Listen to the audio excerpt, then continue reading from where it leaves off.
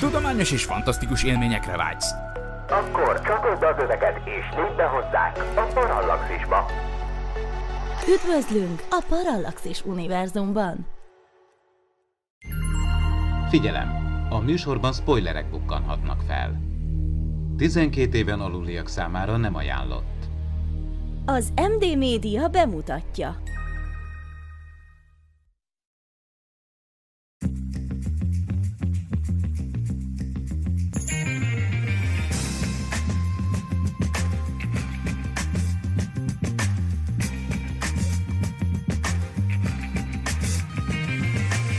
Ez itt a Média Zabálók, a Parallaxis Univerzum médiaipari podcastje. Sok szeretettel köszöntök mindenkit, ez a Média Zabálók ötödik része itt a Parallaxis Univerzumban, a mikrofonnál Horváth Ádám Tamás. Adásunkban a hagyományos podcastekről fogunk beszélgetni, kifejezetten azokról, amik digitális hangfájként léteznek, és amelyet az interneten keresztül lehet letölteni vagy online streamelni, olyanokról, mint ez itt né. Fontosnak érzem ugyanis leválasztani mai témánkról a YouTube-os stúdióbeszélgetések audio változatát, mivel a podcast, mint műfaj, elsődlegesen a rádiós talkshow klasszikus alapjai nyugszik, olyan tökéletes, hogy kép sem kell hozzá. Szeretettel köszöntöm médiaipari beszélgetéseink során már állandóvá vált társaimat, elsőként Barkóci Norbi digitális tartalomkészítő kisiparost. Szia Norbi! Sziasztok! És Kubatovics Áron kommunikációs szakmunkás. Szia Áron! Szervusztok, sziasztok! Mielőtt belekezdenénk mai beszélgetésünkben, ne felejtsetek el lájkolni és feliratkozni, premier előtti tartalmakért, valamint a Parallax és Podcast hosszabb, exkluzív változatáért pedig fizessetek elő a patreon.com per Parallax oldalon keresztül, ahol most egy speciális, rezsicsökkentett támogatói csomagot is találtok. A Parallax kapcsán sokszor megjelenik a kommunikációnkban, hogy a 24 évvel ezelőtt, 1999-ben egy internetes rádióban indult Parallaxist, 2018-ban podcastként indítottuk újra, pedig az akkoriban is már a Pararádióban is podcast volt. Podcast volt, hiszen élő streamben lehetett hallgatni, és podcast volt, mert az adásokat utólag vissza lehetett hallgatni. De podcast volt, ha inkább volt élő rádióműsor, amit akár utólag visszahallgattál, mint hagyományos podcast beszélgetés? Kezdjük is ezzel a határvonal a számotokra. Mi a podcast? mindenféleképpen valami olyan audio tartalom, amit az ember on demand, tehát bármikor, amikor úgy gondolja, ahhoz hozzáférhet. Kialakulásnak meg elterjedésében nyilván nagyon erős ö, ö, szerepe volt, hogy az internet térnyerésének, illetve szélessávú internetnek, úgyhogy mindenféleképpen a mai, mai viszonylatban egy olyan digitális tartalom, amit, amit bármikor előszedhet az ember, bármilyen platformon, vagy bármilyen eszközön úgymond el lehet érni, vagy akár le is lehet tölteni, tehát nem feltétlenül igényen mondjuk aktív internetes kapcsolatot, hogy, hogy mit, mit, mit tekintünk ténylegesen podcastnek. Szóval, hogy mondjuk öt évvel ezelőtt valaki csinált egy podcast, és egy adás feltöltött, és ott van fenn, és akkor az egy, az egy podcast okés, de én azért valami kicsit szigorúbb, mondjuk, mondjuk valami rendszerességet esetleg még, még mögé tennék, hogy, hogy nem csak egyetlen egy adás, hanem hogyha egy podcastról van szó, akkor ahhoz több epizód, vagy, vagy rendszeresség valamilyen szinten azért, azért legyen, legyen ott. Persze, hát mindig az emberektől függ, hogy mikortól neveznek el egy, egy adott műfajt külön névvel. Én emlékszem arra a 2000-es évek elején, amikor a Tilos Rádiótól elvették a frekvenciát, talán két vagy három éven keresztül nem volt frekvenciája, ők akkor már, tehát itt tényleg 20 évvel ezelőttről beszélünk, több mint 20 évvel ezelőttről, ők akkor az interneten folytatták a sugárzást, és később vissza is lehetett hallgatni az adásokat. Akkor az podcast volt, vagy nem? Hát nyilván nem volt az, rádió volt, amit egyébként bármikor visszahallgathattál, és már akkor 20 évvel ezelőtt is rengetegen hallgatták külföldről. Ö, aztán jött egy pillanat valamikor a 2000-es évek végén Amerikában, amikor valaki elnevezte podcastnek ezt a műfajt. Akkor, akkor talán azt, hogy mi az elsődleges megjelenési platform, mert hogyha mondjuk uh, rádió, akkor, akkor az egy hagyományos rádiósó, de hogyha mondjuk uh, internetre gyártott tartalom, ilyen szempontból, de nem feltétlenül azért. Szerintem ez úgy működik, mint a videózás esetében is, hogyha egy tévéműsort látsz a tévében, akkor a törvények vonatkoznak rá, korhatárbesorolás van, mindenféle normának és kereskedelmi szempontnak akár meg kell felelnie, míg amikor csak mondjuk a YouTube-ra csinálsz egy videót, akkor mondjuk a YouTube általános közösségi feltételeinek kell megfelelned, meg nyilván a, a, a törvénynek, meg az erkölcsnek, de hogy nyilván sokkal szabadabb az egész, mint platform. A rádióknál is szerintem megvan ez a különbség, hogy amíg egy rádióműsorban ugyanazok a kötöttségek megvannak, a kereskedelmi rádióknak, hogy hány perc zenét kell, hány perc magyar zenét kell játszani, stb. Meg kell szakítani egyszerűen azért a rádiók többsége, vagy a nem talkshow jellegű rádiók többsége, a kereskedelmi rádiók azért azok arról szólnak, hogy kevés megszólalás. A hosszú, podcast-szerű talkshows beszélgetésekre azért más, és inkább ma már egy rétegigény bontakozott ki szerintem, vagy körvonalazódott. Tehát szerintem már kevesebben hallgatnak, most nem tudom, egy jó beszélgetést a jazzin, mint mondjuk a Rádió egyet délután a, a vezetés közben. Jó kérdés. Eljön az a pillanat, amikor a, a podcastokat is simán lehet, hogy törvényileg szabályozni fogják. Ez tulajdonképpen csak egy törvényhozói akarat kérdése, hogy mondjuk kötelezően be kell -e majd jelenteni, mint média szolgáltató tevékenységet. Visszatérve arra, hogy mikortól podcast, az biztos, hogy te, mint hallgató tudod eldönteni, hogy mikor akarod hallgatni, ez fontos. Ugye a rádiónál nem ez volt, a rádiónál akkor hallgattad, ami, ami, amikor ténylegesen sugározták, a, a, a podcasteket vissza tudod hallgatni bármikor. Hm. Akkor hagyd tegyek itt egy keresztkérdést még föl, mondjuk a szokolébresztő, ami itt a Parallaxis univerzumban is hallható, de elsősorban élő, budapesti frekvencián élőben sugárzott rádióműsor, azt utána, ha a Tilos Rádió archívumába hallgatjuk vissza, akkor podcastet hallgatunk, még ha a Parallaxis univerzumba hallgatjuk vissza, akkor rádióműsort hallgatunk. Tehát azért szerintem azért a határvonal nyilván nem ennyire éles, inkább a szokásjog és az egyéni akaratunk kérdése, hogy éppen mit tekintünk podcastnek, vagy mit nem. Ugye itt a műsor felkonfiában én például elmondtam, és szeretném a műsorban is ezt az elgondolást érvényesíteni, hogy mondjuk különböző tévécsatornák által, vagy nagyobb videós műhelyek által készített stúdió beszélgetések különböző podcast platformokra feltöltött változata, az számomra nem számít bele a klasszikus podcastnek a fogalmába, de még korábban Norbi mondott egy érdekeset, amin megakadt a fülem, még, és az a rendszeresség. Szerintetek egy jó podcast esetében mi az a rendszeresség, amit tartani kell, vagy jó tartani legalábbis. Itt ugye a parallaxis esetében azért látjuk és elmondható, hogy amikor valamiért egy kisebb szünetre kell vonulnunk, akkor bizony utána visszaesik a hallgatottság, és szépen lassan mászik csak föl az addig elért szintre, a szünet előtti szintre. Mit gondoltok, mi ez a idő limit, ami még, még el, amit még elbírnak a hallgatók egy új podcast epizód nélkül? Jó kérdés. Nyilvánvalóan itt a szélsőségektől eltekintve egy ilyen, egy ilyen egészséges, nem is tudom, közép, középutat megtalálni mindenféleképpen érde, érdemes, mind a, mind a tartom készítők, meg, a, meg lehet, hogy a fogyasztók oldaláról nem, mert azért sokszor fut bele ilyenbe az ember olyan kommentekből, hogy de még többet, még tört, tartalom, még több podcast, még több videó, és azért nyilván, hogyha még szeretné is a tartalom készítő, azért ez könnyen a, a mennyiség, a minőség rovására tud menni. Úgyhogy én így nagyon, nagyon tágan belőni, azt mondanám, hogy a heti szintű podcasttól egészen a, a havi rendszerességig, azon belül biztos, hogy bármi tud működni.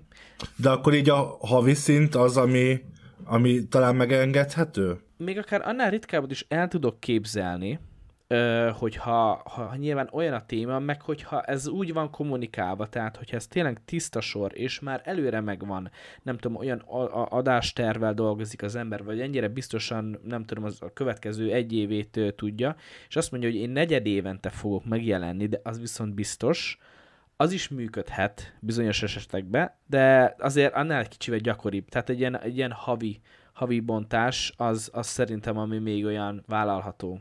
Ny- nyilván, amit mondasz, az igaz. A, talán a Norbi mondta, hogy mondjuk valaki 2020-ban fölrakott egy adás, létrehozta azt a podcast csatornát, majd utána ö, magára hagyta, azt nyilván nem nevezhetjük ma már most podcastnak, de akkor, akkor abban az egy-két-három hétben, akkor egyébként egy új podcast született.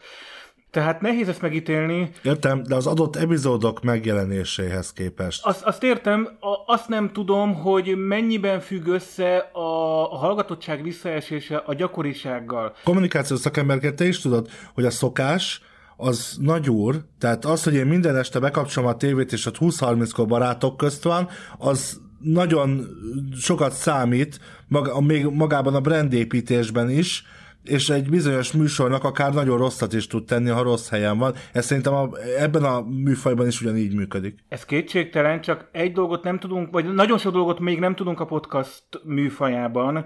Például az, a hallgatás szokásait sem ismerjük kellő mélységben. Tehát én, én például egy alkalmazásban hallgatom az összes podcastomat, amiben RSS linken keresztül van mindegyik berakva, de én azt hiszem, hogy a többsége például nem így használja, hanem mondjuk a Spotify-t hall használja néha zene hallgatásra, néha podcast hallgatásra, és a Spotify-nál már eléggé biztos vagyok benne, hogy a, az a Spotify valamilyen típusú algoritmusa határozza meg, hogy bedobja éppen neki az új részt, vagy nem. Tehát az én hallgat hát az én hallgatásomat nem befolyásolja, hogy valami három havonta, havonta vagy hetente jelenik meg, mert én megnézem a címét, és vagy érdekel, vagy nem, de lehet, hogy a többség nem így működik.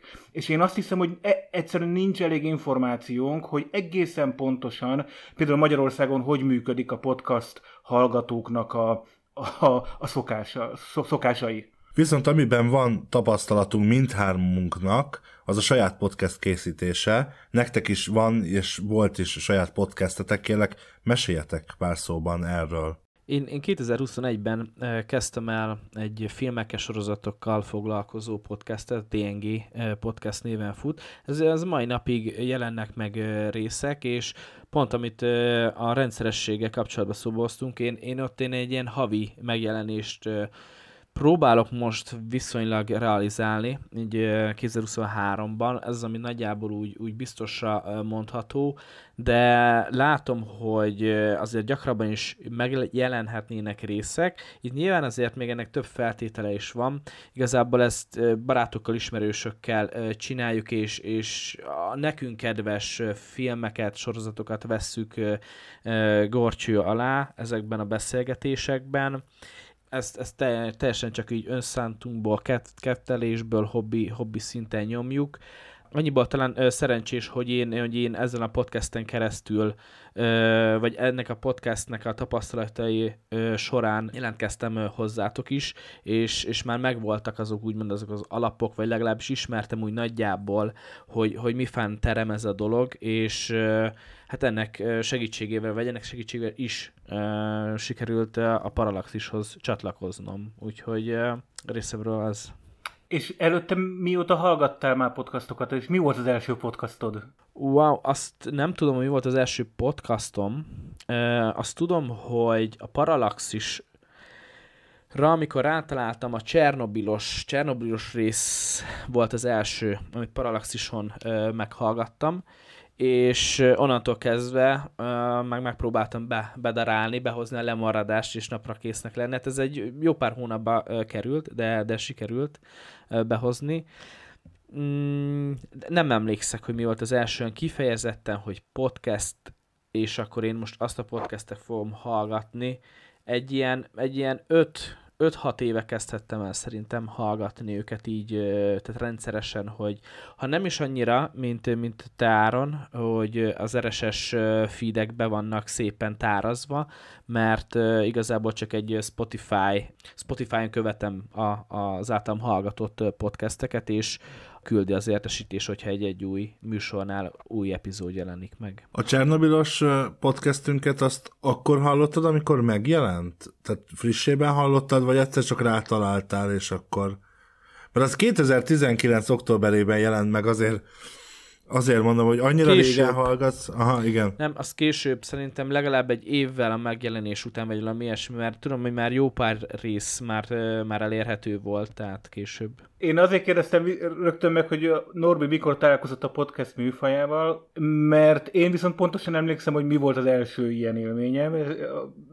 Tehát nagyon régóta olvasója vagyok az IDDQD blognak, ez a stökiéknek ilyen régi retro számítógépes játékokkal foglalkozó blogja volt. 2008 óta, 2009 óta írhatták kb. a blog.hu motorján, és valamikor 2013-14 környékén indították el a, a podcast adásukat, és gyakorlatilag egy-két év alatt le is morzsolódott maga a blog írás, és maradtak csak a, a, a hang, hangi adások, tehát a podcastok. Én akkor találkoztam ezzel az egész műfajjal.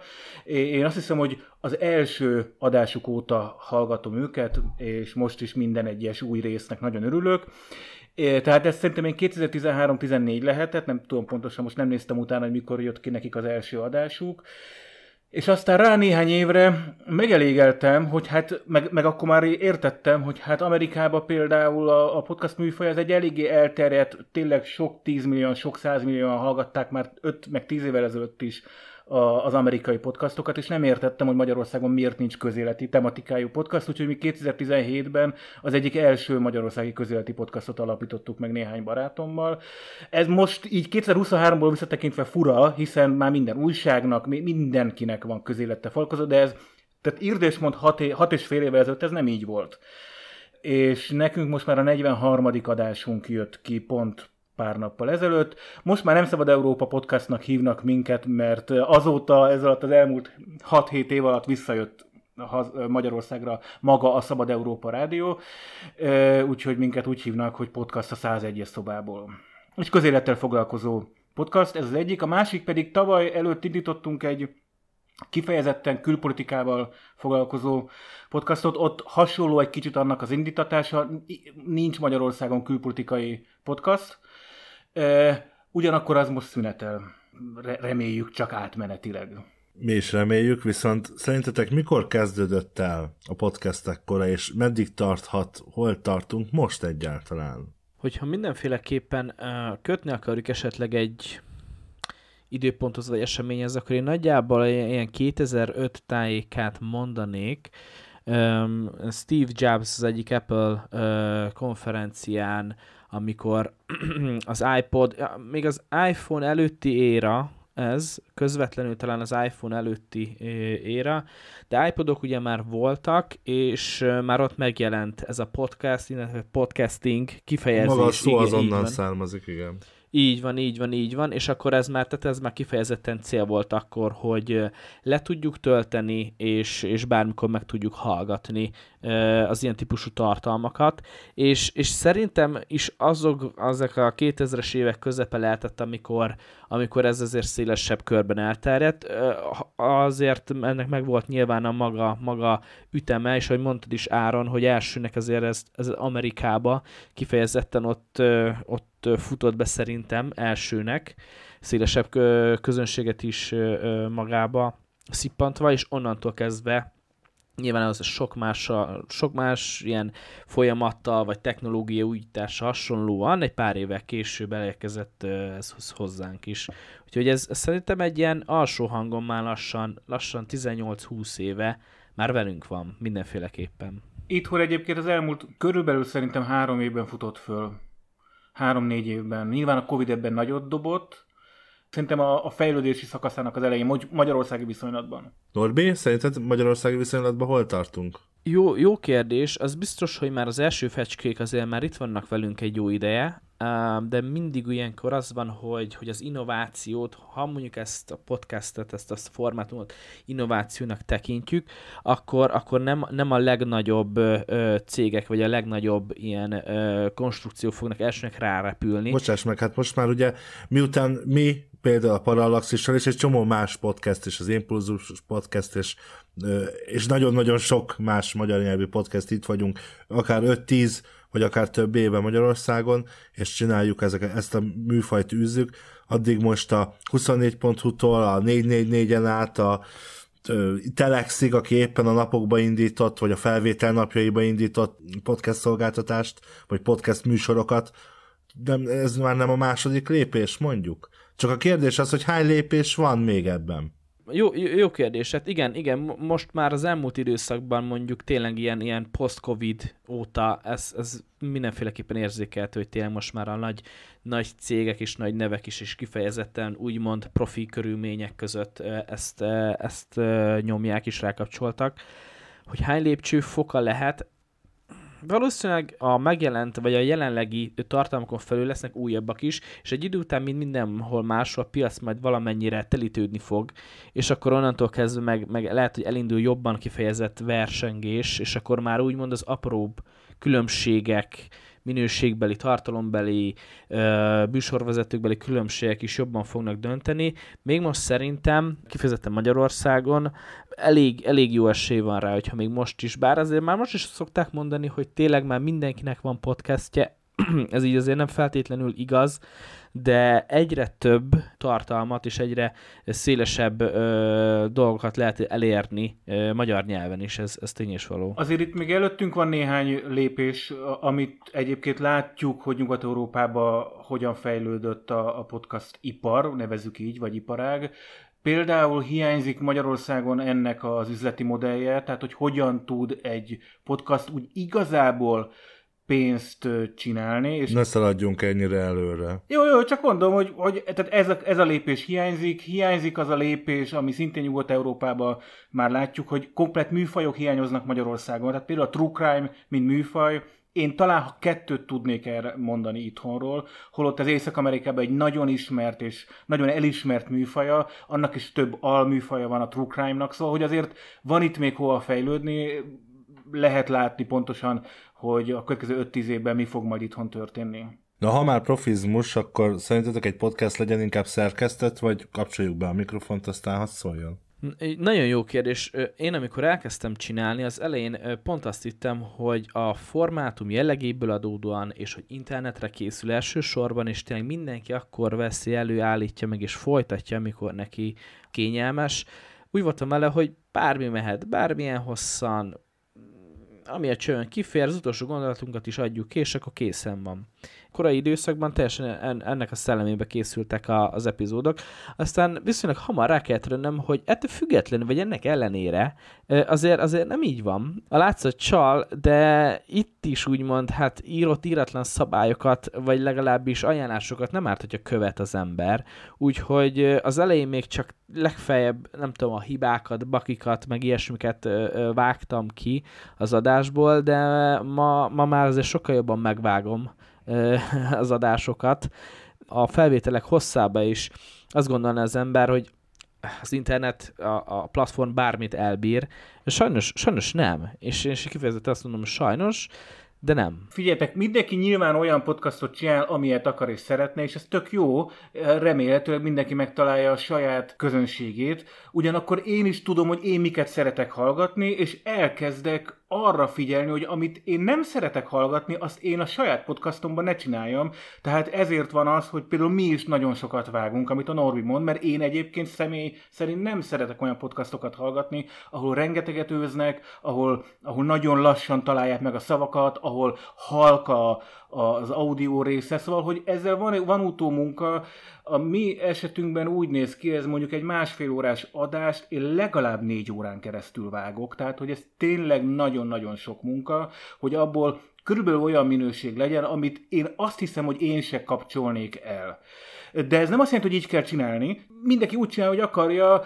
Én nem gondolom, hogy szélesebb közönséget el lehet érni jó vágás nélkül, inkább így fogalmazok. Amit mondtál, hogy akkor a felvétellel, esetleg előkészületekkel és vágással együtt, itt a végeredményt már munkanapban, esetleg munkanapokban lehet mérni, és ez azért majd érintjük majd a, a pénzügyi vonalakat is a podcastek kapcsán, ez itt már így, így eléggé nehezen kivitelezhető sokszor, vagy nem feltétlenül várható el például, hogy valaki ennyi időt rá tudjon szánni Hát itt ragadnám meg az alkalmat, hogy gondoljunk bele azt, hogy a Parallaxis univerzumban készülő műsorok, azok mennyi előkészítés és mennyi utómunkával járnak. Nyilván nem mártírkodni akarok, csak azt akarom jelezni, vagy arra akarok igazából kontrázni, amit Norbi is felvetett, hogy igen, azért ez egy, ez egy drága műfaj tudna lenni, ha maga az iparág, ami még hiányzik itt Magyarországon, kifejlődne. Vagy tudni kell blattolni. Tehát ú- tudni kell úgy beszélni, szinte már rádiókészen, és akkor nem nagyon kell vágni. Mi kifejezetten erre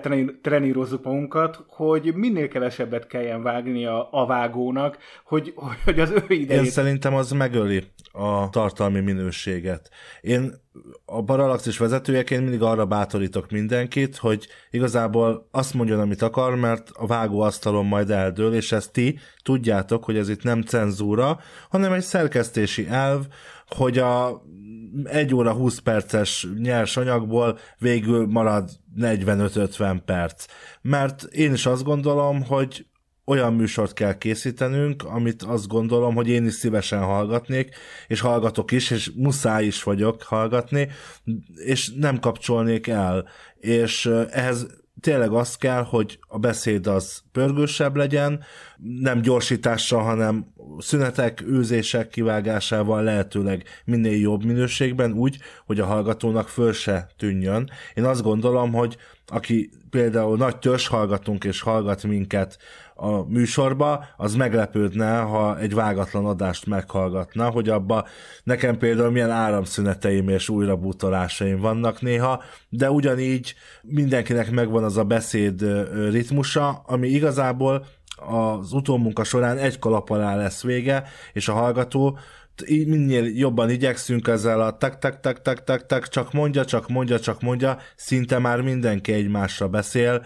nincsenek nagyon fölösleges szövegek, ha valaki egy valamit elmondott, akkor az, ha valaki más csak annyit mond rá, hogy hát igen, én is ezt gondolom, az valószínűleg nem biztos, hogy ő ott, ott marad az adásba. És én azt is gondolom, hogy egyébként is a vágás az mindig védi a műsorvezetőket, mert azért azt nagyon fontos hangsúlyozni, hogy ebben a csapatban senki nem végzett műsorvezető, rádiós vagy bármi hasonló a szakmája, és bizony védeni is kell a műsorvezetőket, a civil embereket, akik most műsorvezetőként kénytelenek tetszelegni egy podcastben, mert hát nyilván ez egy mesterséges környezet, és szerintem ilyen módon nem is működik az, hogy csak bekapcsolom a mikrofont és beszélgetek. Nyilván vannak olyan beszélgetéseink, például nemrég az UPRA csapatával volt egy olyan beszélgetés, beszélgetésem, egy viszonylag elég hosszú videóhívás, aminek a végén azt mondtam, hogy ó, de kár, ezt, ezt fölvehettük volna, ez tök jó podcast lett volna.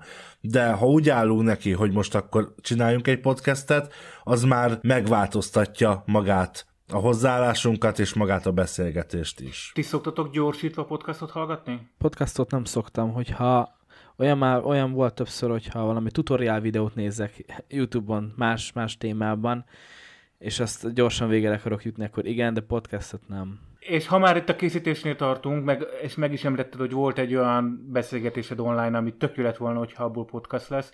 Ugye nem tudok, ezt mi online veszük föl, tehát mindenkinek van otthon mikrofonja, egy, egy eszköz segítségével pedig látjuk egymást, és közben mindenki veszi föl a hangot, és aztán te összevágod a végén.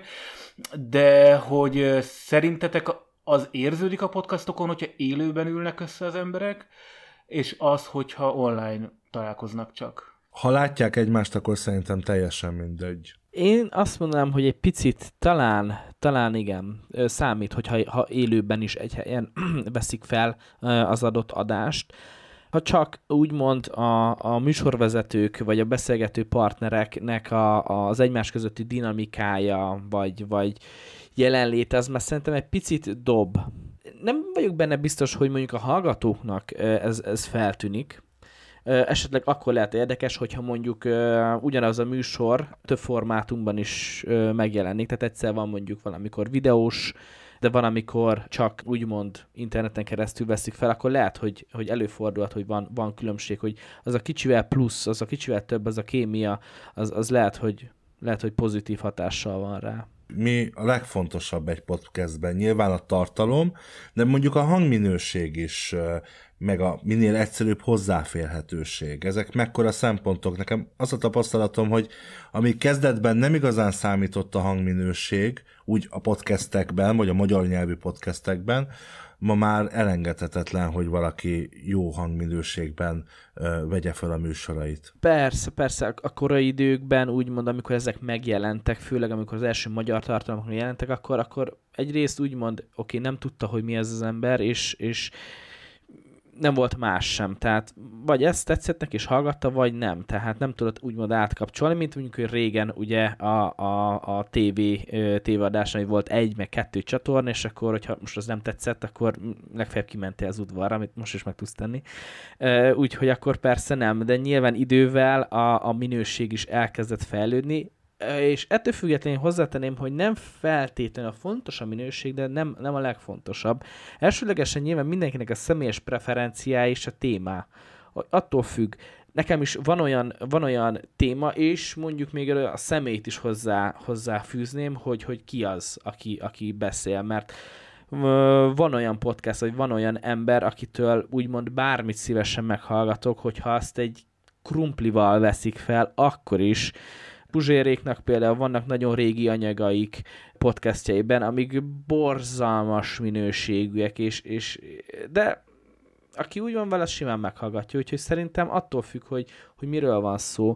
Ha valaki nagyon kíváncsi egy témára, vagy egy emberre, akkor, akkor attól függetlenül is meg tudja hallgatni, de nyilvánvalóan azért ez, ez nem árt, hogyha jó, jó a hang. De viszont még ezek mellett azt is mondanám, hogy, hogy igen, tehát hogy a, a soft skill a kommunikáció, hogy hogyan beszél, sokat őzik, ezeket mindenki azért persze, aki úgymond, aki nem tanulta ezeket, mint mi is, kifejezetten ezekre próbál figyelni és fejlődni ebbe, és az előadás módján is csiszolgatni, mert ezek mind abban segítenek, tehát hogy a hallgató komfortosan érezze magát, de azért ott van az is, hogy, hogy a szimpátia, hogy milyen az embernek a hangja, hogy, hogy egyetérte a gondolataival, hogyan fejezik ki magát. Ezek az apró dolgok is. Simán van olyan podcast, akit, amit nem hallgatok, nem szívesen hallgatok, hogyha valaki ott van, mert tudom, hogy én ezt nem szeretem az embert, de például ezt pozitívan is ki lehet ö, ö, hozni, hogy ha van olyan személy, akit imádok, akkor az mindegy, hogy hol van, meg, meg milyen műsorba hívják el, mert meg fogom nézni, meg kíváncsi vagyok rá ezek, ezek így összességében, mind, mind fontos. Én ezzel mindegyet értek, én csak annyival árnyalnám, mert egyébként ez kb. én is így mondtam volna el, de én annyival árnyalnám, hogy képzeljétek el, én például trenírozom magamat arra, van olyan podcast csatorna, aminek jó a tartalma, vagy mondjuk háromnegyedében jó a tartalom és érdekel, és nem szeretem a műsorvezetőket, és ennek ellenére szándékosan végighallgatom, mert érdekel a téma, és, és tulajdonképpen a magam lelki fejlődését trenírozom egy kicsit, ha lehet ilyen képzavarral érni, élni, hogy annak ellenére, hogy én őket nem kedvelem, mégis rászánom, rájuk szánom az időt, és megtisztelem őket azzal, hogy egyéb, mivel jó a téma, és egyébként izgalmasak adott esetben a meghívott vendégek, én akkor is végighallgatom. Ez nyilván nem törvényszerű, én is jobban szeretek olyanokat hallgatni, akik egyébként kevesebbet őznek, vagy, vagy szimpatikusabbak, vagy nem mondanak állandóan nagyon fura dolgokat, és szándékosan nem erősebben fogalmazok. Néha érdemes az embernek kilépnie a komfortzónájából, ez csak mint, mint, mint a saját személyes példámon akartam így tanácsot adni esetleg a hallgatóinknak. Na, ha már jó tartalom, akkor szerkesztésileg mi kell egy jó podcasthez? Mikor lesz népszerű egy podcast? Hát, ha ezt tudnánk. Igen, én ezt akartam mondani, hogy jegyzetelek, míg, míg ezt elmondjátok, mert erre, erre még nem... Mi, mi, mikor lesz, mikor bukik meg egy sorozat? Hát... Kell szerintetek adásmenet, vagy mondjuk nem kell, vagy van akinek szüksége van rá, és van olyan csapat, akinek szüksége van rá, és van olyan, akinek nincs egy jó arculat szerintem mindenképpen kell. Szerintem a mai világban menőnek kell lenni valamilyen úton, módon, legalábbis az adott célközönségedet nagyon jól kell tudnod belőni. Amint nagyon fontos, és ez nem a podcast műfajra specifikusan, hogy megtalálni a célcsoportot. Legjobb esetben az ugye, amikor a saját érdeklődési kör és a célcsoport megtalálja egymást, és akkor ez a két halmaz metszi egymást, és ez nem annyira egyszerű, mint, mint azt elsőnek gondolná az ember ö, ugye mi, mi lehet egy, mitől lehet egy népszerű, vagy mi lehet a titka annak, és hogy, hogy beszéltünk már például rendszerességről, oké, okay, fe, felkészülés, fel, felkészültség, esetleg érni előre adásnaplót, stb. Ez például szerintem kifejezetten az ember személyiségéből adódó ö, dolog. Én például nagyon ilyen tervező ö, típus vagyok, én megírom magamnak előre, milyen pontokról szeretnék beszélni, miután mi jön, nagyon precízen, talán egy kicsit túlságosan is. De aztán van a másik oldala is, hogy van, aki ö, teljesen spontán tud ö, a témákról beszélni, összeszedetten, ez azért fontos, és annak meg lehet, hogy erre nincs is szüksége, de én azért biztonságban érzem magam, hogyha mindig ott van egy mankó. És mind a kettőből ö, születhetnek jó, jó műsorok, úgyhogy szerintem ilyen szempontból nincs az, hogy egyetlen egy bevált lecep van. És, és az utolsó dolog, az megint csak úgy menni általános igazság, hogy nem elég valamiben jónak lenni, hanem hogy jónak is kell látszani. Tehát, hogy a, a marketing része amit például mondtál Ádám, az arculat, tehát, hogy a világ legjobb podcastjét csinálhatjuk itt, bármit is jelentsen ez, hogy ha, ha, ha nem ismerik az emberek, ha, ha, ha, ha nem kattintanak rá, és, és ezek, ezek miatt nagyon-nagyon fontos a marketing része is. Én azt tudom az adásmenettel kapcsolatban elmondani, hogy én életemben múlt héten csináltam először adásmenetet, vagy csináltunk a, a saját podcastunknál. Én, én döbbenten olvasom, hogy a mi saját adásmenetünk, a médiazabálók adásmenet, ez mennyire profi van összerakva, hogy itt tulajdonképpen én most tanulom, így 43 saját adás után, tulajdonképpen hogy kell adásmenetet csinálni. Tehát lehet a nélkül is csinálni, lehet, hogy, hogy hogy mi majd most fogunk szárnyalni a saját, izé, a saját podcastunkkal, így, hogy most már adásmenetet is csinálunk. Igaz, mi spontán beszéltünk, mindig személyesen jöttünk össze, és azt hiszem, hogy elég jól tudott mindenki kapcsolódni a témákhoz, amiket, amiket beszéltünk. Itt a magyar nyelvű podcastek már szóba jöttek többször. Szerintetek hány magyar nyelvű aktív podcast lehet most 2023-ban? Én három évvel ezelőtt láttam egy felmérést, ott, ott, ilyen, ott is már ilyen 3-400 aktívról volt szó. Egyébként abból a felmérésből, csak hogy visszacsatoljak egy, egy perccel, vagy pár perccel ezelőttre, abban a felmérésből az derült ki, hogy meglepően fontos a hallgatóknak a, minő, a hangminőség, de természetesen a tartalom a legfontosabb. Én, én, én, szóval nekem az én podcast lejátszomban 2000 körül van beállítva, de nem aktívak, tehát ez, e, itt, itt ez fontos, 2000 podcast van, ami nek van RSS linkje, zárójel, a podcast az, aminek van RSS linkje, én most hozok egy, hozok egy, egy definíciót, de én eléggé biztos vagyok benne, hogy, hogy, hogy közelíti azért az ezret, a, a, azok a podcastok, amik aktívak. Az aktív alatt én azt értem, hogy mondjuk fél éven belül volt adása. De ebbe benne van például az összes rádió, olyan adása, aminek van RSS linkje, és fölrakják podcast felületekre, tehát ebbe azért nagyon sok minden, mindenben van állítva, nekem mindegyikbe van állítva, vagy hát én azt képzelem, hogy mindegyikbe van állítva, nem nagyon találok mostanában már újakat, csak azokat, amiket most alapítanak. Norbi rólad pont tudom, meg tudjuk, hogy ilyen 30-35 podcastet hallgatsz így van, így van, így van. Körülbelül annyi azoknak a számok, amiket tényleg rendszeresen fogyasztok, hallgatok. Ennek döntő része magyar, egy nagyon kevés angol nyelvű podcastot hallgatok. Ennek igazából a nyelvi korlát az oka, az angol, az angol hallott szövegnél sokkal jobban kell figyelnem.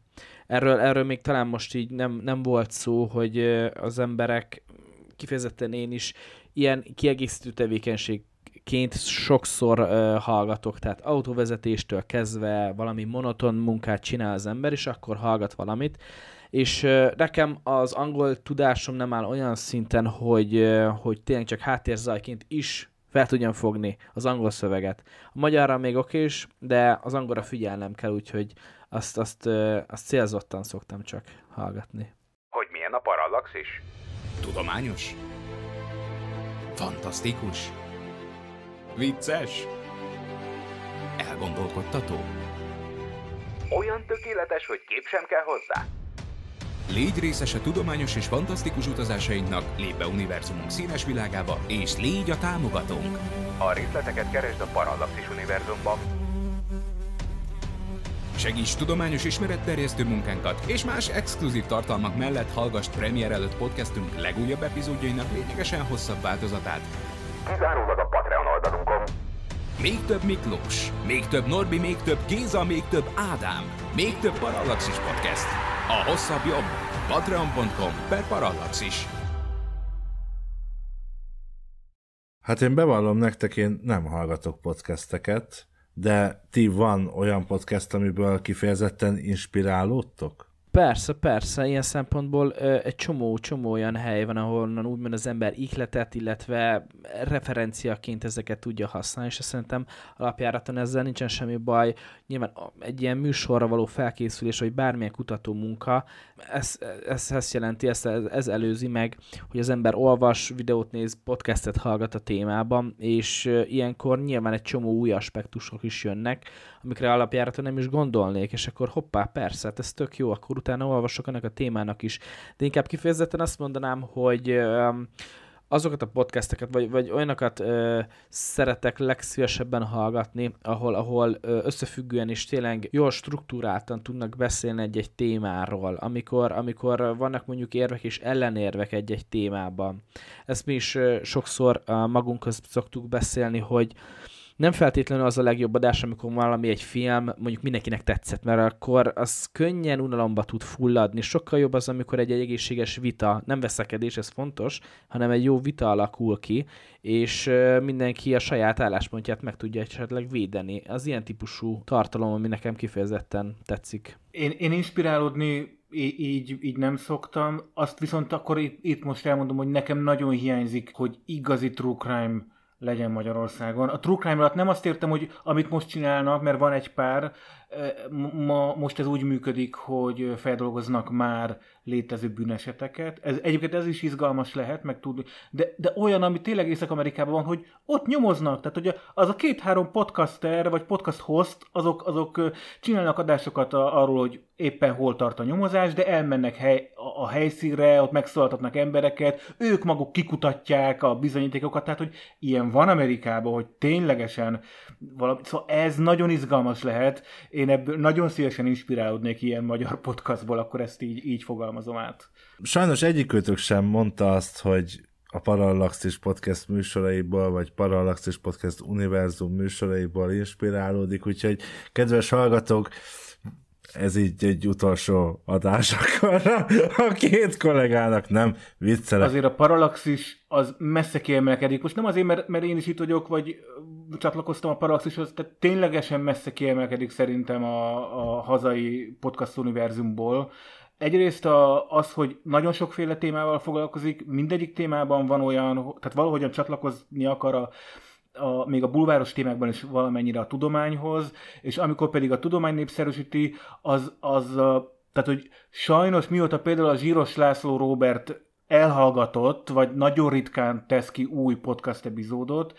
Tényleg hiánypótló szerepe van annak, hogy, hogy a tudomány népszerűsítő podcast adások legyenek, ilyen az űrös műsor, ilyen a többi, szóval, hogy ez, ez tök fontos. Tehát nem is inspirálódni nem, hanem, hanem ez tényleg nagyon fontos terület szerintem. Én, én is csak azért, hogy védjem magamat paralaxis oldalról, én visszahallgatni magamat nagyon nem szeretem vágóasztalon ez nyilván sajnos ö, megkerülhetetlen, amikor mm, saját magam anyagát vágom, és ezért sajnos az elő tud fordulni, hogy olyan paralaxis adásokat, amikben én szerepeltem, én azokat nagyon ritkán hallgatom vissza, de azokat imádom, amikor én nem vagyok benne, úgyhogy... Hát akkor nyertünk egy műsorvezetőt, és veszítettünk egy hallgatót, amikor csatlakoztál. Viszont szerintetek milyen műfajból milyen tematikából kéne még több a magyar nyelvű podcast piacra? Vagy inkább podcast szénába, vagy mert azért piacnak ezt még jó indulattal sem nevezném, de ez még egy kicsit később. Én, én akkor én, én tudok azért mondani a műfajt szerintem, ami még hiányzik a, a True Crime mellett. Magyarországon azt hiszem nem nagyon van olyan podcast, ahol mondjuk egy adott könyvsorozatot, vagy, vagy vagy ilyen, ilyen világokat, hogy kell ezt megfogalmazni, ilyen, ilyen ró... Univerzumokat. Univerzumokat, ez az. Franchise-okat. Franchise-okat földolgoznak, és mondjuk végig mennek egy könyvsorozaton, és részről részre elolvasnak mondjuk öt fejezetet, és arról beszélgetnek. Pont a, az egyik interjú voltunk a saját podcastunkban, az a Szikra nevű mozgalom egyik elnökségi tagja volt, és ők például csinálnak ilyet a saját mozgalmukon belül, hogy ilyen, ilyen filozófiai műveket olvasnak, és akkor erről csinálnak beszélgetést. Partizánnak is voltak ilyen podcastjai. Szerintem lehetne több több ilyen. Akkor ehhez kapcsolódó, én például tökre örülnék egy olyan podcastnak, ami képregényeket dolgoz föl, vagy arról beszélgetnek, de nem úgy, hogy megint ki, hogy kijött a Wolverine, vagy kijött a Marvel legújabb képregénye, hanem mit tudom én, rászánnak két adás, és mondjuk csak a Hodorovszkinak a, a metabáróiról, mit tudom én, földolgozzák egybe a tartalmat, és a második adásban pedig arról beszélnek, hogy az miért izgalmas, és a kettő között eltelik egy hónap, és kiadják házi feladatul a hallgatóknak, hogy oké, okay, akkor most ti is olvassátok el, és akkor egy hónap múlva találkozunk. Szóval, hogy például képregényekről úgy beszélni, hogy nem mit képregény univerzumról, hanem, hanem így ilyen ismeretteresztő módon, és szándékosan nem Marvelt vagy a DC-t mondanám, hanem a európai képregények, a francia képregények, dél-amerikai képregények, és így tovább. Ki tud alakulni olyasfajta rajongás a klasszikus podcastekben szereplőkkel szemben, mint a népszerű youtuberek vagy influencerek kapcsán, akár csak megközelítőleg is. Szóval azért én nem számítok arra, hogy a benzinkúton vagy a boltban felismerik a hangomat. De én rajongókkal még nem találkoztam, erről még nem, nem tudok, de minden esetre ki, ki, ki tud valamiféle közelebbi kapcsolat a, a podcast tartalom előkészítés a hallgatója között, még ha ez eléggé egy, egy oldalú is, mivel nyilván a másik nem tud az egyiknek a létezéséről, de ettől függetlenül úgy érzi az ember egy idő után, hogyha valakit rendszeresen évekig hallgat, hogy, hogy azt, az, azt az embert már ismeri, megkedvelte, szimpatikus, úgyhogy persze, ez, ez, ez ki tud alakulni, függetlenül, hogy, hogy elég egyirányú. Ez nagyon izgalmas, amit mondasz. Én azt hiszem, hogy, hogy talán a Parallax nem az, tehát az valóban túl uh, underground uh, témát dolgoz föl, tehát, tehát hogy nem, nem igazán mainstream a Parallaxis által vitt témák, de egyébként ki tud alakulni, de ennél azért, azért már jobb a helyzet még Magyarországon is, tehát legalább 6-8 olyan podcast van, akik például közösség találkozókat nem egyet csináltak, és ezek elég jól szoktak működni. Csinált ilyet a Vakfolt, ami egy filmes podcast. Csinál ilyet a Hihetetlen Történelem, ami egy tök jó, egy házaspár, fiatal házaspár csinálja, ők is most már csináltak közönségtalálkozót. Ott van a Stökiék, amit már én említettem, az IDDQD, ők fél évente csinálnak, hogy élőben veszik föl a egy-egy adás, és ott tényleg 50-en, 100-an oda jönnek. Nyilván olyankor tapogatják is a podcastereket. A 24.hu-nak is most már a, ugye neki péntekenként minden héten jön ki egy ilyen hételemző műsoruk, és idehoznám még az Árnyékot is, az Árnyék nevű podcastnak is volt már találkozók, és az is sikerült. Tehát ugye ezért így van, van, van most már kapcsolat, és a, a Hack és Lángos ugye ők egy internet technológiával és internet biztonsággal foglalkozó nagyon izgalmas, hogyha valaki egy kicsit geek, akkor annak nagyon ajánlom. Ők a Telegramon tartják a kapcsolatot a saját hallgatóikkal, és nagyon jól működik az ottani közösség. Arra céloztam, hogy mondjuk a tévébe láttam az E pluszon Sebestyén Balást, és most nagyon gazdag, sok pénze van, nagy sztár, ha elmegy egy műsorba, az garantáltan egy millióan megnézik a Youtube-on. Most lényegtelen, hogy rádiózik, és most mondtam egy nagy sztárt Magyarországon, aki tévéből lesz sztár. A rádióból mondjuk, emlékszünk mondjuk talán Csiszár Jenőre, aki a tévé vagy a rádióból lett valaki, most éppen nem tudom, azt hiszem valami konzul Olaszországban, mondhatnám a sok, nem tudom, Bétót Lászlótól, Cintulán keresztül, Lódi Györgyöt, meg a régi rádiósokat is, a klasszikus rádiósokat is, tehát talkshow rádiósok, hogy így mondjam, újságírókat. Ma, manapság hallunk olyat, hogy Kubatovics Áron a Médiazabálók podcastből, tehát hogy nem, ez szerintem nem lehet, tehát hogy a válasz a feltett kérdésemre szerintem nem. A, mai rádiósokból sem nő ki olyan sztár, aki egyébként a tévéből kinőhet, vagy a youtuberként kinőhet, egy nagyobb réteg fele, vagy akár az egész ország ö, ö, fele is, ö, semmit nem csináló influencerek is lehetnek, olyanok, hogy mindenki is vagy a nevét, csak a teljesítményét nem, de én szerintem a podcasterek közül nem, nem nincs az, hogy, hogy de az Ádám a parallaxisból, tehát hogy a saját jogán lehet valaki azért, tehát a Miklós, az nem tudom, behívnák sokszor a tévéműsorokba, és oda vállalna ő fellépést, vagy elmenetelt, mint nem tudom, a vicces fizikus, akkor ő ki tudna magának egy olyan karriert csinálni, most mondtam egy példát, de, de akkor sem a szokolébresztő, vagy a parallaxis műsorvezetőjeként lenne ő híres csak saját jogán. Szerintem általánosabb igazad van, de mint mindenben itt is van kivétel. Én azt hiszem, hogy ezt a nagyon fura átlényegülést meg tudta lépni a Síkideg podcastból a Márkó meg a Barna, de szerintem ők a kivételek Magyarországon. Kik azok? A, tényleg a leghallgatottabb podcast a Síkideg, Barna meg a Márkó a két host. Mondtam egy Sebestyén Balást Tehát most, most direkt, direkt is megyek ebbe bele, vagy állok ebbe bele, tehát hogy gyere te is nyugodtan, de hogy, de hogy ez, tehát ez nem példa, de akkor nem egy Sebestyén Balást mondok, akkor mondok egy, nem tudom, egy kisót, egy adát, akik így azért nem a leg, most pont az pluszosok jutnak csak eszembe, de hogy nem a legnépszerű, vagy nem a, nem tudom, nagyanyám nem tudja, hogy ki az az ada, vagy az a kisó, vagy Harsányi Levente tök jól reprezentálja azt, hogy, hogy most már mennyire uh, szubkultúrák alakultak ki uh, különböző témák körül, és még korábban uh, tényleg egy egy műsorba tévés arc, az be tudott futni, és ott volt, az tényleg egy ország ismerte mindenki, hogyha benyom, benyögted a nevet, tudja még az is, aki tényleg nem néz tévét. Ez olyan Star Wars, mindenki tudja, ez a Darth Vader. Akkor is, hogyha soha az életben nem látott Star Wars-t. Na most ö, más ezekben a témákban, meg főleg podcastekben, itt, itt, itt kisebb, de viszont annál összetartóbb szubkultúrák alakultak ki, és hogyha azon belül bedobsz egy nevet, akkor úristen, mindenki meg van őrülve, de viszont nagyon éles a határ, hogyha azon kívül mondod, akkor azt senki nem fogja már ismerni. Tehát olyan emberek ö, olyan számokat tudnak produkálni, és akkor most nem feltétlenül csak podcasten, de, de akár abban is TikTokon, hogy, hogy Úristen, és soha az életben nem hallottál róla. Egyébként ez egy kicsit ahhoz hasonlít, mint amikor a YouTube felfutott Magyarországon, mondjuk az mikor lehet az első nagyobb fölfutás 5 éve, 6 éve, nem tudom pontosan mikor, és hirtelen ugye annak a szubkultúrának, akik a YouTube-ot nézték, mondjuk az a félmillió, egymillió ember, aki visszatérően mm, használta a YouTube felületét, azoknak már mondtak az akkori nevek valamit. Legyen a Szirmai Gergely neve, vagy, vagy nem tudom, Dancsó Péter neve.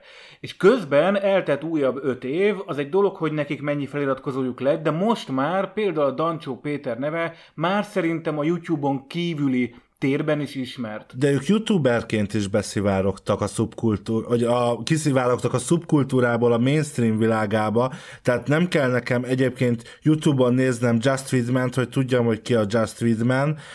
Ma már ez sokkal nagyobb réteg számára elérhető. A kérdés az, hogy a podcastek esetében várható-e ez az ugrás egyszer eljutunk ide. Értem, Áron, te bólogatsz, és azt mondod, hogy igen. Két síkideg podcaster az most, e, éppen e, most csinálja ezt. Most... De már most nem is síkideget nyomnak. Már most hajóssal nyomják. Most a hajóssal nyomják a potpeden például, igen. Ja, ez a, ja, az a Licényi, Licényi Márkó. Látod? Neked is megvan. Oké, okay, mentor volt az X-faktorba gyerekek, évekkel ezelőtt. Több ember fogja, én onnan ismerem, én előtte se tudtam, hogy most nem akarom pellengére állítani, meg nem, nem akarom megbántani sem, egyébként így bírom így a, mondjuk úgy a képernyőn keresztül, vagy én is nézem a hajóssal a Probléma című probléma műsorukat, de ettől független, ami ugyanúgy nem tartok podcastnek, tehát én videós formátumban, szerintem podcastként csak hangként kevésbé működik annyira a dolog szerintem, de mindenképpen szórakoztató, szóval nem megbántani akarom őket, ezt akarom mondani, vagy, vagy lenézni, vagy ilyen arroga, arrogánstak lenni, csak a másik nevet nem is ismerem, és most is percek kellettek, hogy lehessen az, hogy, hogy kiről van szó, a Márkóról, akit egyébként, ha egyáltalán nem tudom, hogy mi ez a Síkideg podcast, de azt tudom, hogy a hajós miatt tudom, hogy a problémába benne van, és egyébként ott, mikor láttam először, akkor tudtam, hogy ki ez a csóka, mert mentor volt az X-faktorban. Figyelj, a, a, a síkidegnek a hallgatottsága az a top egy volt, egy, egy vagy két éven keresztül Magyarországon, tehát mondjuk tavaly, meg tavaly előtt a síkideg podcast. Én, én, ezt, én ezt értem, de, de Márkó megjelenik a tévébe, ahol megtudjuk azt, hogy ő a síkideg podcastnek a műsorvezetője volt. Szerintem most vagyunk ezen a határátlépésen. Hogy... De mivel lépik át a határ? Tehát, hogy... Át akarják lépni? Ők már kifejezetten YouTube-ra gyártanak tartalmat. Hajós András ugye a Dalfutárral, amiben szintén szerepelt Márkó is, most ez az új beszélgetős podcast műsor. Nem akarok ennyire eltérni a, mai témánktól, de szerintem azért összességében, bár, bár nyilván és értem én azt, hogy szabadabb és jobb a YouTube-os felület, de szerintem a, az igazi pénz az még mindig a TV műsorban van. Szóval szerintem nem összehasonlítható az, amennyit Márkó keres a problémával, azzal, amennyit mondjuk mentorként keresett az X-faktorban. De mondjuk a VR-os srácokat, ha megkérdeznénk erről, nem biztos, hogy egyetértenének veled. De ők sem saját, igen, de ők először is az sem szerintem nem hagyományos podcast, Másrészt, másrészt de az, az videós, az, az YouTube, ők youtuberek, youtuberkednek, az, az nem, az van. nem podcast, tehát az, az vagy a, Hát a reggeli műsorokat még talán mondhatjuk ez, de persze ez nem a fő, így van, így van, ez, ez csak egy. Igen, igen, igen. ők sem tudtak szerintem úgymond abban a, abban a mainstreambe beszivárogni, amit most ebben a műsorban én mainstreamnek hívok. De nem, nem, figyelj, nagyon jó, amit mondasz, mert, mert pontosan ami Észak-Amerikában már van, hogy a podcast, mint műfaj, az mainstream. Hogy, hogyha ott neked műsorod van, akkor egyébként te tényező lehetsz a CNN-en, meghívnak uh, politikai elemzőnek, vagy meghívnak bulvár, bulvárba. Ez Magyarországon még nincsen, de szerintem miért ne alakulna majd ez is itt ki? Azért, mert Amerikában mondjuk pont a politikai és a közéleti, tehát azért a, a, a fontos dolgok piacán, ott, a, a, a, ott működött az is, hogy, hogy a Fehérházat fölhívta, nem tudom, John Smith a én megmondom blogtól, és nyilatkozott neki a Fehérház, nyilván most nagyon lesarkítom. Magyarországon, ha én a megmondom pont blog.hu-tól fölhívom a Hát most nem politikai példát mondjunk, mert ő az egy, most itt Magyarországon az egy tök más tészta, de mondjuk fölhívom a nem tudom, a valamelyik nagy televíziós csatornát, hogy szeretnék én egy interjút kérni Sebestyén Balázsral, akkor maradjunk ugyanezeknél a neveknél, akkor arra azért nem fogja azt mondani, hogy igen, mert a Bliknek majd azt fogja mondani, hogy igen, de a kis blognak nem. Ugyanezt szerintem a helyzet a podcasteknél is, hogy egy kicsit, egy picit le van nézve ez a műfaj itthon, pontosan azért, mert nem egy, mert, mert igazából nincs piaca. Azoknak a podcasteknek van csak piaca, amik nem podcastek. Abban a pillanatban, hogy meg lesz az üzleti modell, abban a pillanatban ki fognak ezek alakulni, és a dolog már nem lenézett műfaj lesz. Tehát, hogy fontos, amit mondasz, de igen, e- a fejlődés elején vagyunk ebben. ha már anyagiak, akkor szerintetek, szerintetek idézőjelben, miből él egy podcast? Ugye itt a Parallaxis univerzumban jól tudjuk, hogy hát néhány ezres hallgatottsággal nem könnyű támogatókat találni, főleg manapság az elszánt árak korában meg egyáltalán nem.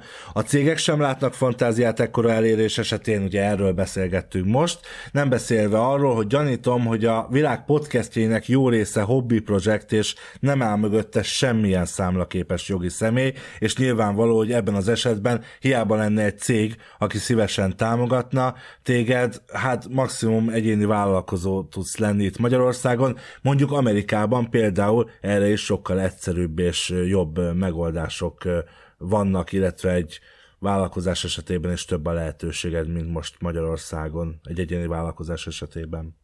Szóval szerintetek miből tud megélni egy podcast? Mi, mi, mi, az, ami, mi az, amit tehet, vagy, vagy mi az, amire számíthat egy podcast, vagy egy podcaster? A hallgatókra nyilván. Le- legfontosabb, hogy elmegy a podcaster napi 8 vagy több órába dolgozni, és akkor utána tudja ezt csinálni. Na de lehet ezt csinálni úgy, ha itt pont a műsor elején beszélgettünk arról, hogy milyen sok időt vesz igénybe, akár ennek a résznek az elkészítése, tehát ezzel most foglalkozunk, mindenki egy picit foglalkozik, de van egy, van egy, vagy van egy valaki, aki nagyon sokat foglalkozik az elejétől a végéig azzal, hogy ez a műsor majd egyszer csak május 1-én a hallgatók elé kerüljön. Mint minden mással ez is, tehát nyilván hobbi, hobbi szinten kezdődik el legtöbbször valószínűleg az esetek többségében, és onnantól kezdve az ember egyre több időt, energiát belerak, és biztos eljön egy olyan pont, én, én a saját podcastemmel ezt, ezt még nem érzem fenyegetőnek, amikor már elgondolkozik azon, hogy, hogy tényleg ebből esetleg pénzt is, nagy Isten megélhetést is lehessen ö, ki, ö, kiszedni. És ö, amikor például elkezdenek, ugye nyilván elsőleges körben mire gondolt az ember, reklámok például. Nagyon sokszor utána visszajön ez a negatív visszhang, hogy ugye jaj, de hát eladtad meg el is reklámokkal, próbálsz fennmaradni, tehát egy úristen, egy munkáért esetleg még pénzt is kapsz, ez azért eléggé ördögtől való. Ez az ingyen tartalmak országa. E, igen, másrészt. Aztán ugye, amit ö, említettünk már, tehát ny- nyilván ez egy, ez egy kis ország, szóval a piac is be van határolva, hogyha most itt céges szponzorációkról beszélünk, ezért nincsenek annyi lehetőségeim, mint mondjuk Amerikába. Mm. Most ettől függetlenül hogy azért az elmúlt években már elég jól elterjedt a közösségi finanszírozási forma, Lás Patreon.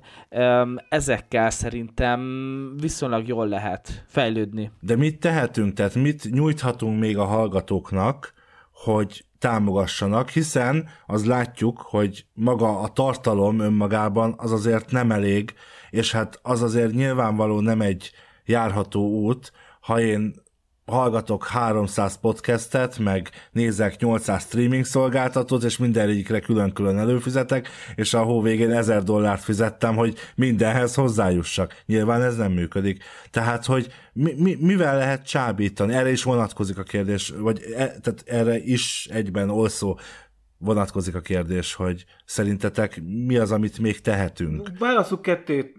Az egyik, ami, ami tehát ugye mindkettőről beszéltetek, az elején eldönt, el kell dönteni egy adott podcastnak, hogy oké, okay, ő inkább a saját hallgatóira támaszkodik, és akkor indít egy, egy olyan programot, amiben lehet őt támogatni, Lász Patron, amit említettetek, és akkor ott azt lehet kitalálni, hogy, hogy külön adásokat készíteni csak a Patreon hallgatóknak, egy hónappal korábban meghajpál. Tehát ez, e, ezeket ki lehet találni. A másik verzió, hogy most már vannak olyan podcastok, akik vállaltan azt mondják, hogy reklámot fogadnak, és bele is rakják azt a, azt a néhány reklámot. Igaz, mondjuk a Volvo, ugye a, a, mondhatunk márkákat egy, egy podcastban, például a Volvo csinált ilyet, én szerintem egy fia Volvo-val se adtak el többet Magyarországon. Ha, egy Fiat Volvo-val sem adtak többet. Látjátok, én is megjegyeztem, hogy egyébként egy elég jó, magas minőségű podcastot támogattak azzal, nyilván, hogy ők finanszírozták annak az előállítási költségét. Én szerintem az ilyen típusú podcastoknál, mint a Parallax, nem nagyon tud működni, mert lássuk, lá, tehát hogy legyünk őszinték, igazából a Parallaxot a, az MTA-nak kéne támogatnia, tehát a Tudományos Akadémiának, a különféle ilyen ismeretterjesztő közösségeknek, és ezeknek kéne támogatniuk. Ezek általában nincsenek jól eleresztve, és per vagy nem szoktak CSR tevékenységet folytatni, tehát a Parallaxisnak ez az út nem járható, itt mi tényleg a, a saját hallgatóinkra tudunk támaszkodni, akiknek ezúton is fölhívjuk a figyelmét, hogy itt van olyan ember, aki tényleg ért nappal átéve dolgozik, és emiatt szerintem megérdemli a, a Parallaxis, hogy, hogy találjunk néhány olyat, aki, aki Patreonon támogatja, és amennyire tudom, azért van is ilyen. Külön tartalmakat kéne esetleg létrehozni olyan személyes csatornát a Telegramon, vagy Szignálon, vagy valahol, ahol közvetlenül tudnak a paralaxis alkotókkal beszélgetni, és bármikor oda tudnak üzenetet küldeni, lehetne csinálni majd élő közönségtalálkozót, tehát hogy, hogy lehet egy-két dologgal honorálni azt, aki havi 500 vagy 1000 forinttal támogatja a paralaxist. És gyémánt fokozatú Patreonunk nainknak mondjuk, hogy wellness hétvége velünk. Norbi, te már egy paralaxisban említetted, pedzegetted, hogy vetközni akarsz egy OnlyFans csatornán. Mi van veled? Most is vetközni akarsz egy izéba? Több lábon állni. Ádám, több lábon kell állni. Legalább egy harmadikon, ugye? Arra, arra utalsz. no, végezetül, ha már szóba jött a Parallaxis podcast, akkor söprögessünk egy kicsit a saját házunk táján is. Szerintetek mennyi lehet még a Parallaxis podcastben és a csatornánkhoz tartozó műsorokban? Nem akarom sugalni a választ, de én sokszor elmondtam már a stábon belül, hogy maximum a tizedik évadig szeretném csinálni. Ez egyébként 170 epizódot jelent, most járunk a 85 környékén, szóval a fele még hátra van, és mivel évente 20 részt készítünk, szóval talán benne van még, még 5 év, azt hiszem. Már csak abban a szempontból is szerintem alul, alul becsülted, mivel hogyha eltelik ez az öt év, akkor azt jelenti, hogy öt évnyi új filmtermésünk még lesz, amiről majd potenciálisan tudunk beszélni. Hmm. Úgyhogy... De én nem azt gondolom, hogy elfogynak a filmek. Tehát én nem az, azt gondolom, hogy tíz, tíz évnyi Parallaxis podcastbe lehet a filmeket kibeszélni, és utána kész, nincs több film a világon, nem jön ki a évi húsz rész, hanem szerintem ennyi van a műsorba. Ennyi van szerintem az, az tehát nekem, ha én most a tizedik évadig csinálom a, a Parallaxist, nekem a, a, a még korábban, a 90 vagy 2000-es években a Parallaxisban, az ős Parallaxisban töltött idei, időmön túl is, még elvesz 10 évet, idézőjelben elvesz 10 évet a Parallaxis, tehát pont 10 évvel leszek akkor idősen, mikor kezdtem, még belegondolni is nagyon szörnyű.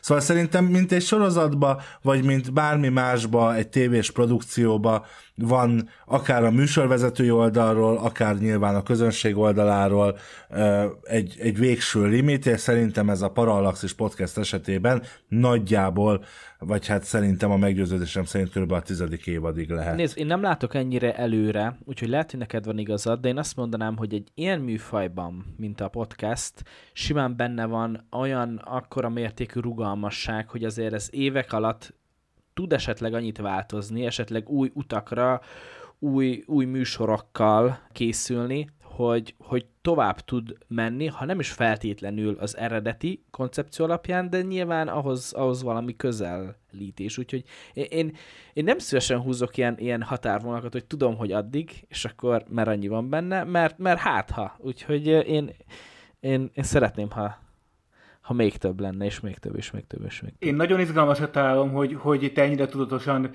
készülsz arról, jó, akkor tíz év. Én azt hiszem, hogy öt év múlva akkor itt, ide majd térjünk vissza, hogy, hogy például mennyire leszel elfáradva.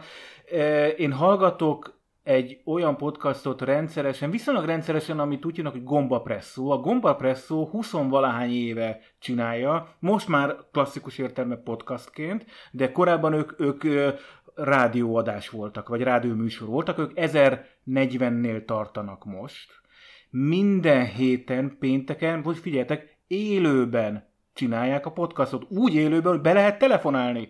Ezt csak azért mondtam ide, hogy, hogy ki lehet találni itt olyan flickflakkokat, aminél lehet, hogy a kilencedik évnél azt fogod mondani, hogy ú, ez tök izgalmas, kicsit csavarjunk az egész műfajon, vagy találjunk ki valami mást, és érdemes arra is készülni, hogy hogy mi van akkor, hogyha ha Parallaxis tovább működik, és te, mint aki az egésznek a motorja, a, a drive-ja, a, a szervezője vagy, te így hátradőlsz, örülsz annak, hogy a többiek megcsinálják, a, a, az, a, a gép forog, az alkotó pián, hogy Madács Imrét idézem, és, és egyébként a Parallaxis csinálja az, ami a dolga. Szóval én, én, én, én, én, én, én, én döbbente hallgatom, hogy, hogy ennyire tudatos vagy. Szerintem térjünk ide vissza kilenc és fél év múlva. Vagy mi? Négy és fél év múlva.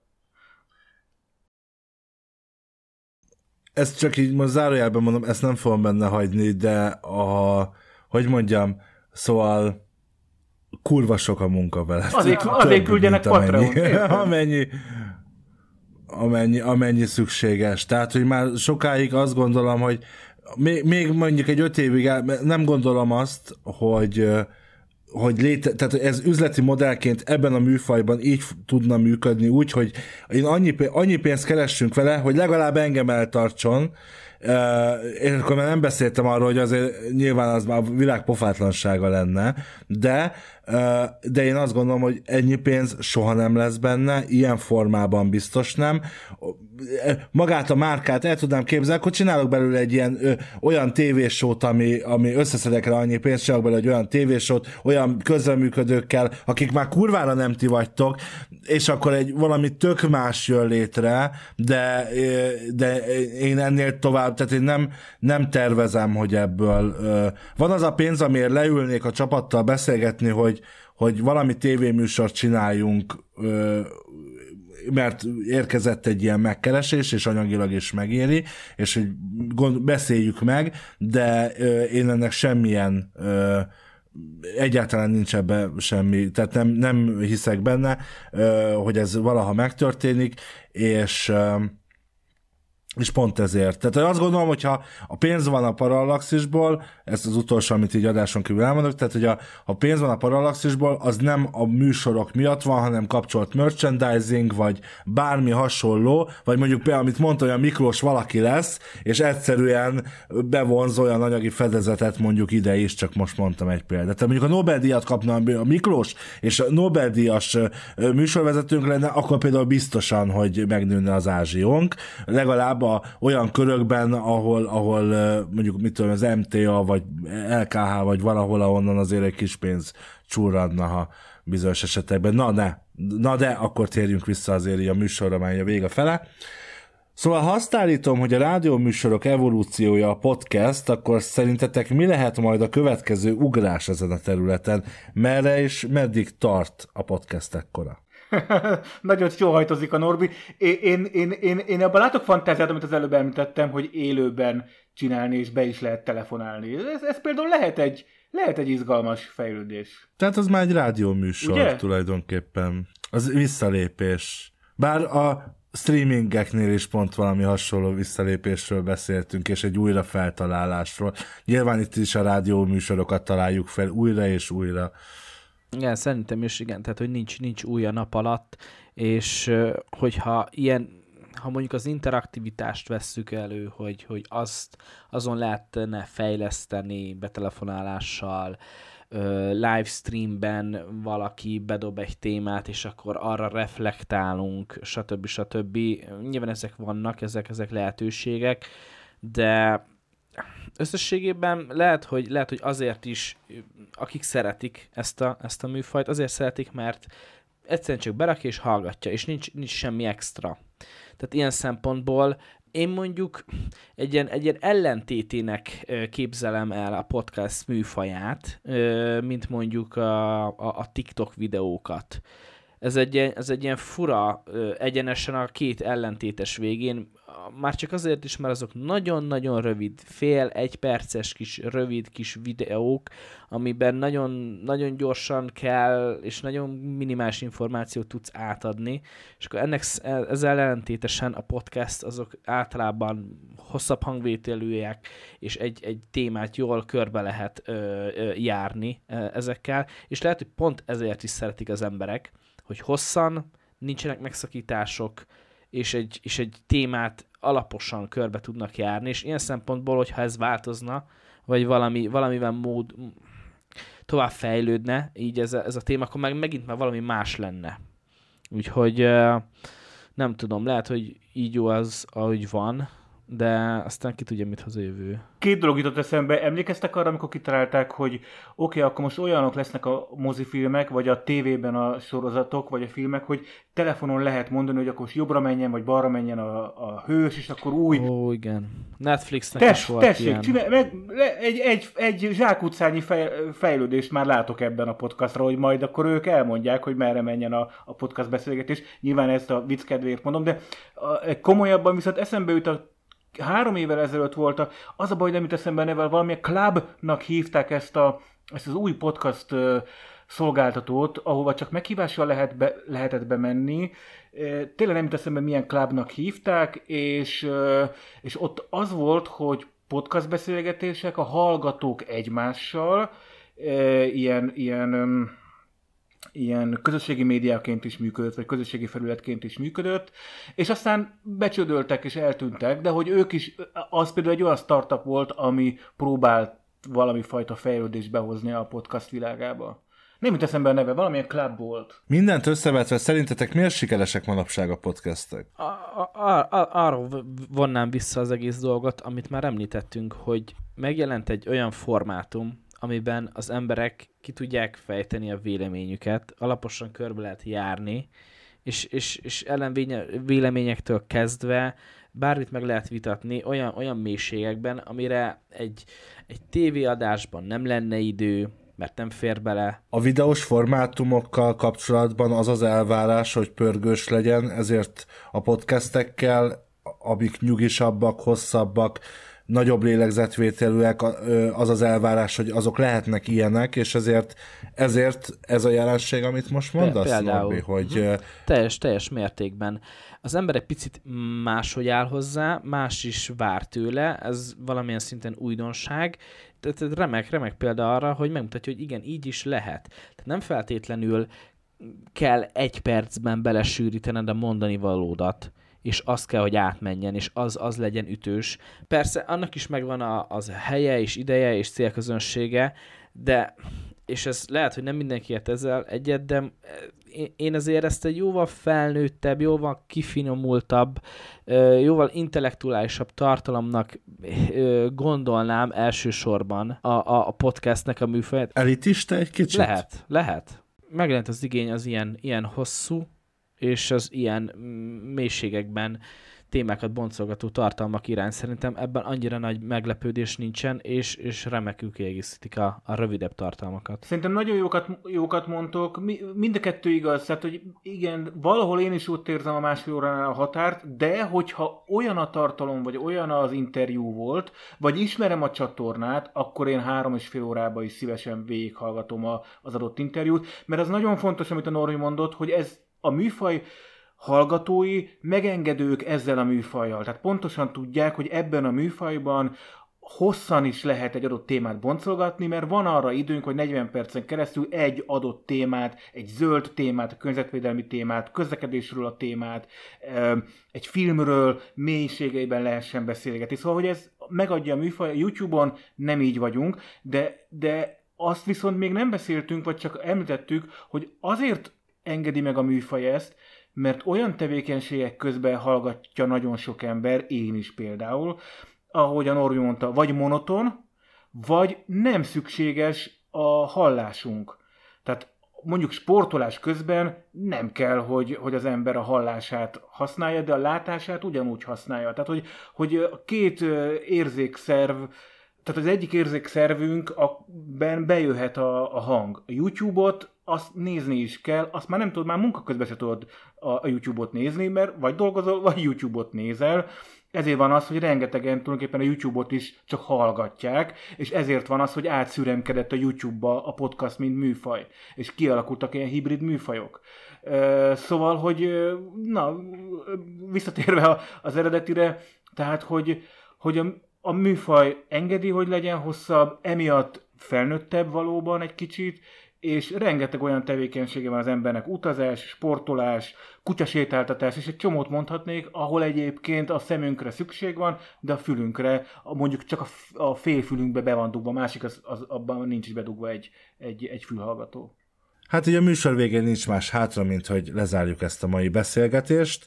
Médiazabálókkal legközelebb június 5-én jelentkezünk, akkor a mai világunk egyik legnyomorúságosabb jelenségéről, az álhírekről és az áltudományok jelenségéről és ezek terjedéséről fogunk beszélgetni, terveink szerint ugyanebben a felállásban.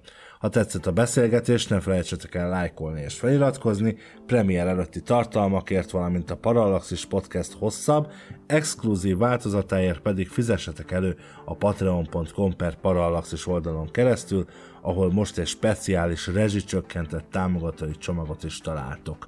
Barkóci Norbi, Kubatovics Áron és valamennyi munkatársam nevében köszönöm a megtisztelő figyelmet, további kellemes podcast hallgatást kívánok, és ne felejtjétek, ez a formátum annyira tökéletes, hogy kép sem kell hozzá. Sziasztok! Sziasztok!